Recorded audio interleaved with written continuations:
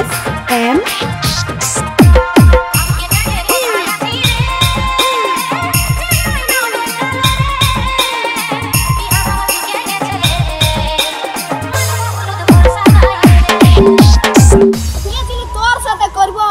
ভাবিয়াছিলি তোর সাথে করবো আমি ঘর কে জানে তুই ধোকা দিয়ে হয়ে যাবি দূর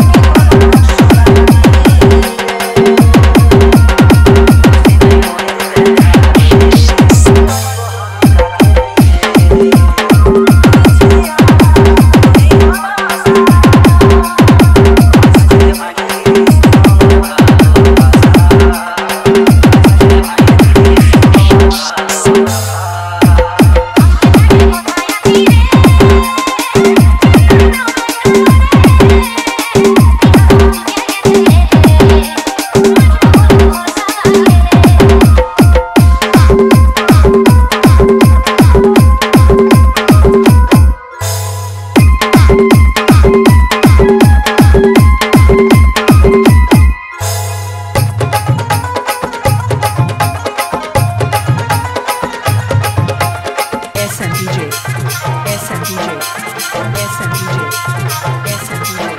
सुशांत